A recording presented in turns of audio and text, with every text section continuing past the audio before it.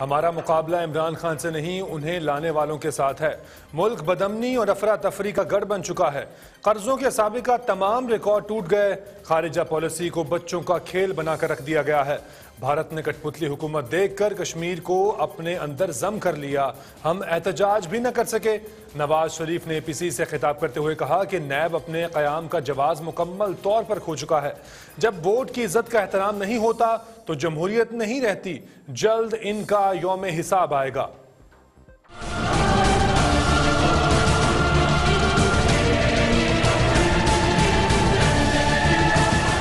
जमहूरी निज़ाम से मुसलसल महरूम रखा गया है। इंतबात हाईजैक करके इकतदार चंद लोगों को मुंतकिल कर देना बहुत बड़ी बदयांती और आइन शिकनी है।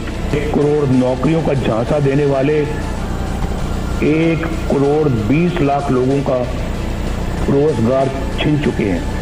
ऑपोजिशन के लोग इसका निशाना बने हुए हैं। जो अपनी खातन के साथ नैब के दफ्तरों, अदालतों और जेलों में रुल रहे हैं, जो नैब से बचता है, उसे एफआईए के सपुर्द कर दिया जाता है। और जो वहाँ से बच जाए, उसे किसी भी झूठे मुकदमे में पकड़ लिया जाता है।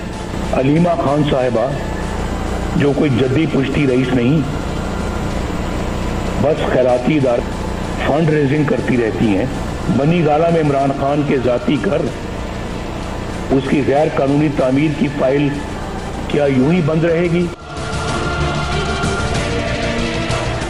बहुत खुश आइन खबर है और अदारों ने ये कहा कि हमें कोई शौक नहीं है किसी काम में मुदाखलत करने का। आप अपनी ज़िम्मेदारी निभाएँ तो हमें किसी किस्म के काम में हम अपना काम करें, आप अपना काम करें। और सब लोगों का इतफाक था कि प्रूवियन अभी इसको जो है गिलगित बल्तिस्तान को सूबा बनाया जाएगा। इस पे तमाम लोग मुतफिक थे, इलेक्शन से पहले या इलेक्शन के बाद, क्योंकि गिलगित बल्तिस्तान के लोग अपनी शिनाख्त चाहते हैं और इसमें तमाम पार्टियों का इतफाक राय।